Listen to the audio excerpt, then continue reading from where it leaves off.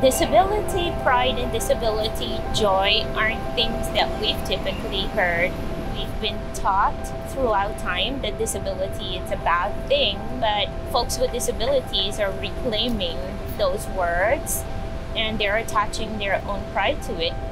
For families like ours, there are such moments of joy in public spaces once you feel very welcome. We enjoy coming to Lincoln Center because of the programming that's offered.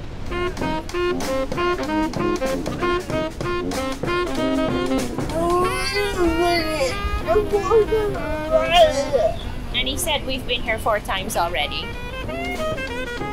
So, an accessible arts experience for our family means that we need a physical space that's accessible so that Annie who's the wheelchair user, you know, can get in and out and enjoy the facilities.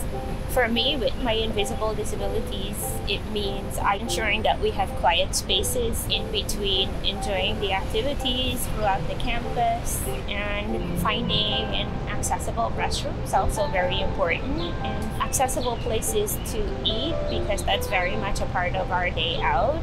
Above all of it, it's most important that the staffs we encounter in a space it's friendly and that we're welcomed in the spaces. The arts serve as a way of bridging cultures that builds more understanding of each other. Annie says, I like busting a move. We wanted to bust a move because we never did it in public.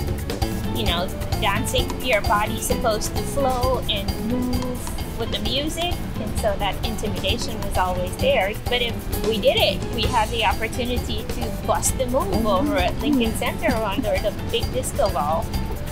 So, what this disability pride and disability joy looks like, it's the way Annie laughs. That is her language once you get here and you see all of the enthusiastic people and all of the joy and looking at everybody just wanting to be in the same space for the same experience and even if your body doesn't sync up with the harmony of the music it's still a lot of fun Yeah. yeah you agree okay